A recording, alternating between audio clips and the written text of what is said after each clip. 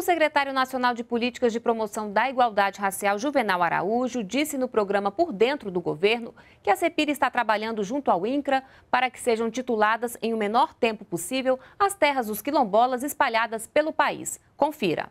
O trabalho da nossa secretaria é o monitoramento da política de igualdade racial. São 17 ministérios e quatro secretarias que trabalham com a política de igualdade racial, entre elas estas duas. O processo, é, o que nós temos que fazer realmente é que há, haja a, a, tanto a, a mobilização né, das comunidades quanto do governo federal destes órgãos que trabalham para que é, seja o menos tempo possível para a titulação das terras quilombolas. É, nós temos hoje no Brasil mais de 3 mil comunidades quilombolas é, e poucas ainda conseguiram seu título de terra. Né? Então é uma luta antiga dos movimentos, das comunidades quilombolas, para que esse prazo diminua. Né? E o nosso trabalho é junto ao INCRA estar trabalhando em conjunto para que seja o menor tempo possível para que sejam tituladas as terras.